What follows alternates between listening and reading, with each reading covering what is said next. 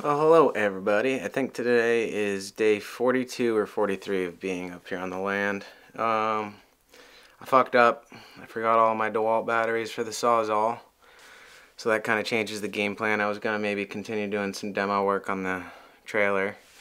And then go down to the river and cut some more little trees down and buck up some wood. But that's not a possibility anymore. So I'm going to divert my attention and tackle a project that I've been meaning to do. It's not a priority, but with all this rain, it's definitely going to be helpful. Basically, when it rains, it leaks through the ceiling on a couple spots here, and there's leftover roofing tar. And my neighbor, the Russian, basically said add some kerosene, some engine oil, mix it up, slather it on there. So I'm going to try and recycle and reuse that instead of having to go buy a bucket of some bullshit. And we'll see how it goes. I've never applied roofing tar. I don't even know what I'm going to use yet but I'll figure it out. Hopefully this stuff will be able to be mixed up and, and workable. So stay tuned for that. You.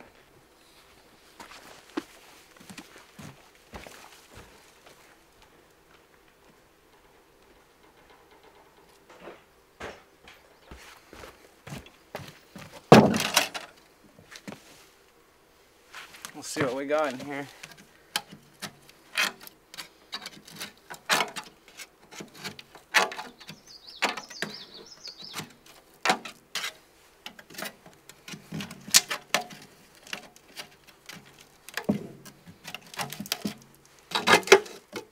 Oh baby, it's topped off.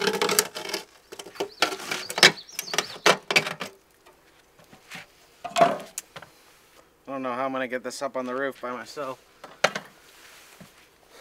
Um, I need to get something to stir it. I mean, it doesn't even seem like I need to add anything. This shit is good to go.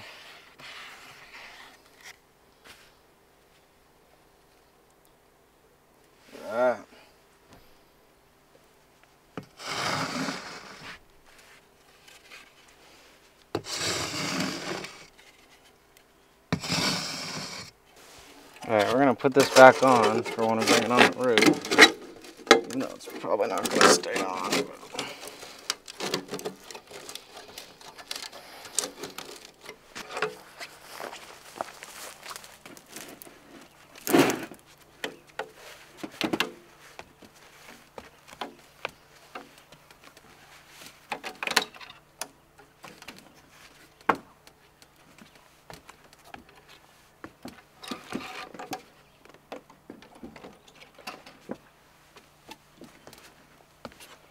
wasn't as hard as I expected.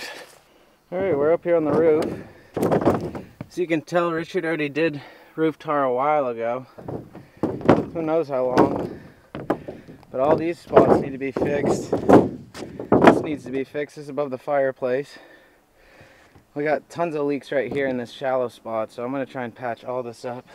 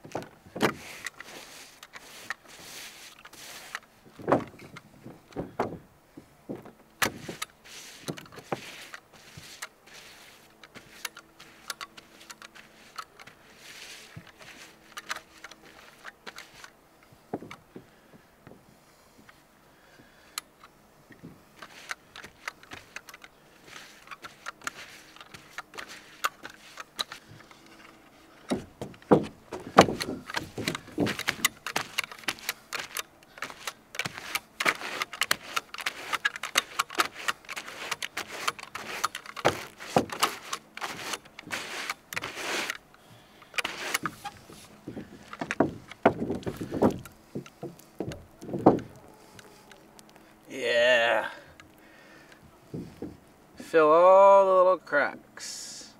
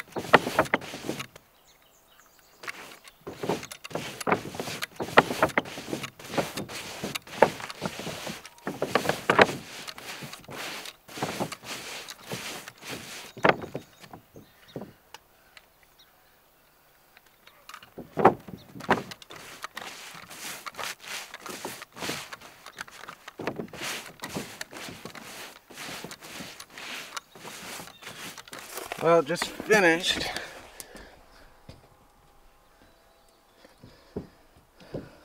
Did a pretty good job. Didn't go too crazy. This is one of the main leak zones. Hopefully it fills the cracks there and right here too. Where the fireplace is. Straight now, it's probably gonna get a little hotter. It's gonna absorb more heat, but Better than having rain and moisture accumulate inside.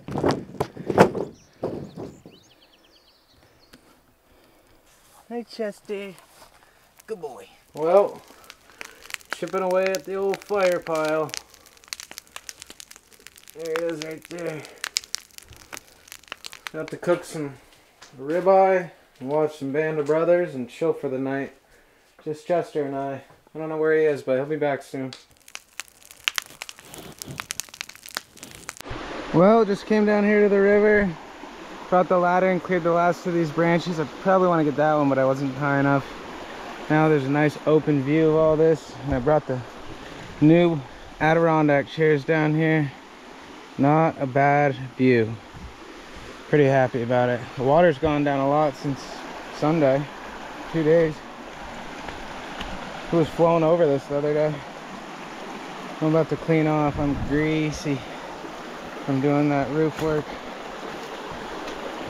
Yep. Here's the the whirlpool, and there's the soak pool. Got the fire burning good. Pile's looking a lot smaller. Pretty happy about that. Tomorrow I'll pull all the loose scrap that's around the trailer from when we started ripping it apart this past weekend and I'll uh, start burning some of that. Waiting for Chester to come back. I let him out. He's probably up to no good. Well, I pretty much have finished burning the burn pile, so that's good.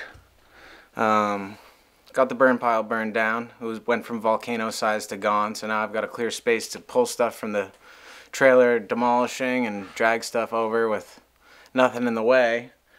And I don't have my sawzall, so I can't really do much demo work right now. So I'm going to tackle this. I'm gonna re-insulate this with some of this board right here that was pulled out of the trailer and then I'll probably cover it with some more sheet metal like I did here behind the fireplace. Just get a little head of stuff. I did tar the roof yesterday and it poured rain last night and there was no leak so that's good. I'm gonna go check that out and see how it looks. Well, finally got a DeWalt oscillating tool. These have gotten a little moldy from the water coming down, so I'm just going to give them a quick sanding just to get this off. Oh, this thing works well.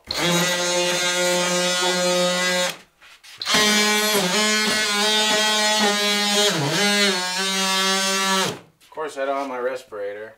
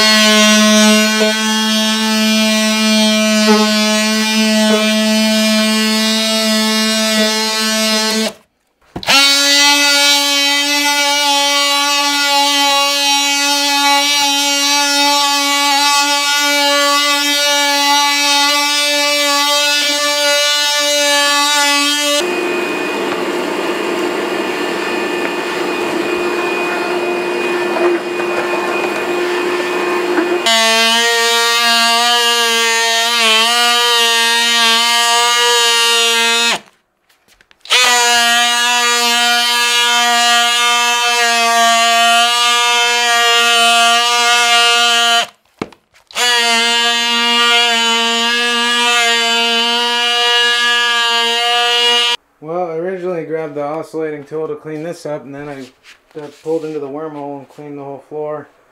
Probably going to stain this or polyurethane it just to make it last a little longer. It's a small price to pay to have a little bit more shelter. That won't get damaged from water. That hopefully will stop dripping because I did do the roof tar, but we'll see. Might have to do another layer of it. Spray paint this a little just to cover the mold spots. Figure it can't hurt.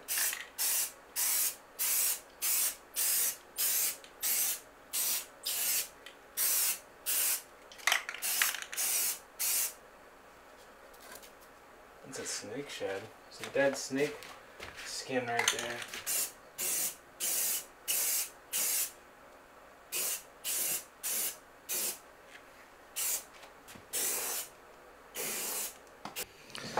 Well, I rushed out of the trailer yesterday and left the land because uh, my pops came and visited and we went and got some lunch. But it was a good weekend. I totally tackled projects that I had no expectation of doing. Um, I was gonna wait till fall to do all the repairs on the crack shack, or sorry, the party trailer, as I call it. Um, but I forgot my sawzall, so it seemed like the perfect opportunity to do the roof tarring, and then I ended up sanding the entire floor inside the trailer because it was starting to develop mold from all the moisture that was coming through the ceiling. So I went and bought some uh, varnish or urethane, and I'm gonna go back up there and take care of that and keep plugging along on the demolition. Thanks for watching. You.